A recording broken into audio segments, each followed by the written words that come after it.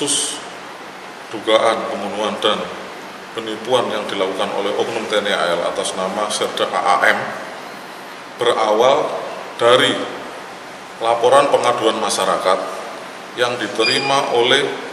Lanalnias dalam hal ini dan Lanalnias pada hari Senin tanggal 25 Maret 2024 seorang warga desa Lahu Saidanate, kecamatan Danate, Kabupaten Nias Selatan atas nama Bapak ST umur 48 tahun melaporkan bahwa anaknya atas nama IST umur 22 tahun telah hilang kontak dengan keluarga sejak tanggal 22 Desember 2022 setelah yang bersangkutan berangkat ke Padang bersama dengan seorang oknum TNI AL bernama Serda AAM yang berdinas di Denpom Panel.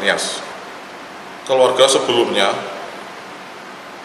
telah ada hubungan dengan Serda AAM ini di mana Serda AAM ini menjanjikan kepada pihak keluarga untuk dapat memasukkan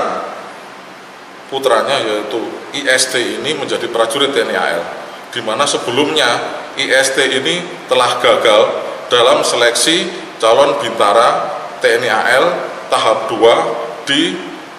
Nias yang dilaksanakan oleh Makolanal Nias. Jadi IST ini telah gagal dinyatakan tidak lulus. Tetapi oleh oknum ini, Serda AAM dijanjikan lulus dengan imbalan sejumlah uang sekitar lebih dari 200 juta. Kemudian mereka berangkat ke Padang sampai dilaporkan mereka tidak ada kontak.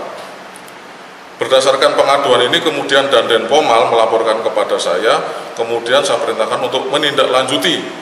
pengaduan masyarakat ini dengan melaksanakan pemeriksaan